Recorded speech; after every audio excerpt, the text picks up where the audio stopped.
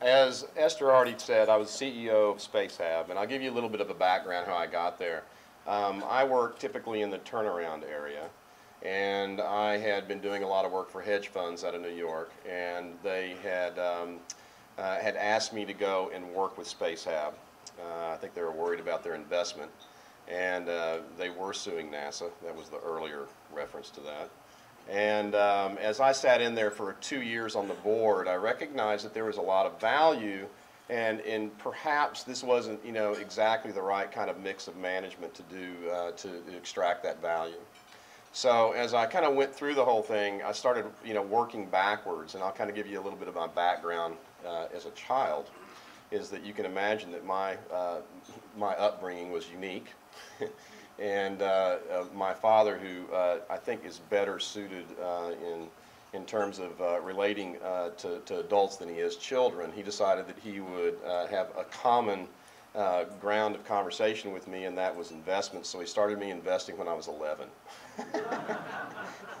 and and it, and it wasn't like you know he was saying you know here put your money in this. He was saying here's the Wall Street Journal. You're going to get it every day and I want to discuss that with you, and you need to make uh, suggestions as to where you're going to put your money. And when I would make suggestions, it would be like a due diligence, which later I ended up becoming very accustomed to when I was 10 years in New York.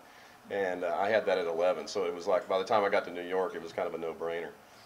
Um, so anyway, I, I, will say that I, I, I believe that I have uh, I've, I've mastered the art of due diligence. And uh, while I was on the board at, at SpaceHab, I started asking really fundamental questions. And one of them was, is that what have you guys been doing all this time? And that was, well, we've been packing things into our science module, putting it in the back of the space shuttle, sending it up, and bringing it back. And I said, well, what were the science experiments? Well, there's all kinds of them. Well, what happened to them? What, what was it that you saw when they were brought back? We don't know. Well, why wouldn't you know that? Well, because we pack them, we send them up, and we bring them back, and we hand them to the universities that were putting them together. And I said, you never followed through with that. They said, no. I said, well, we, we need to follow through with that. Um, well, maybe there was something there. Uh, what, what was it that you ever saw? Was there a eureka moment? And they would say, uh, well, you know, I think there was some stuff. And I was like, well, okay. So anyway, I started going through and I created a committee on SpaceHab that was called the Market Opportunity Committee, which I chaired, and it was funded. And I could pay for studies and things like that and to uh, pay for consultants. And I traveled around and I met a lot of the people that are in this room right now years ago while I was doing that. And um, what I ended up learning was is there was a lot of value. And the problem though was is that NASA was not in the mode of if you had an experiment and you were a university professor and you said, hey, I found a eureka moment, now we should go manufacture this because it can save lives here on Earth, NASA didn't have funding to do that. They had funding that you, if you wanted to break through the next layer of technological envelope, you could get funding for that. But if you're going to do something in replication over and over again, they didn't have a policy, they didn't have a division or a department that would handle that. And, you, and they were also building out the station as well, all through that period. So it really wasn't ready to do that in their own mind. They were still snapping on nodes and all kinds of stuff. And I'm going to run this movie now and show you.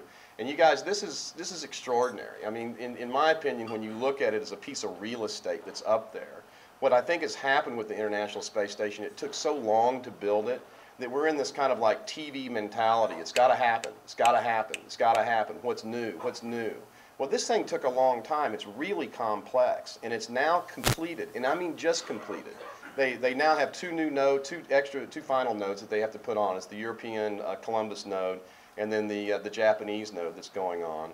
Um, I think the, the Columbus node is going on at the end of this year, and then the Japanese is going on at the beginning of next year. And, uh, but there is all kinds of room up there. The systems have been stabilized. Uh, they used to get infections, and they had all kinds of problems in terms of air handling and whatnot.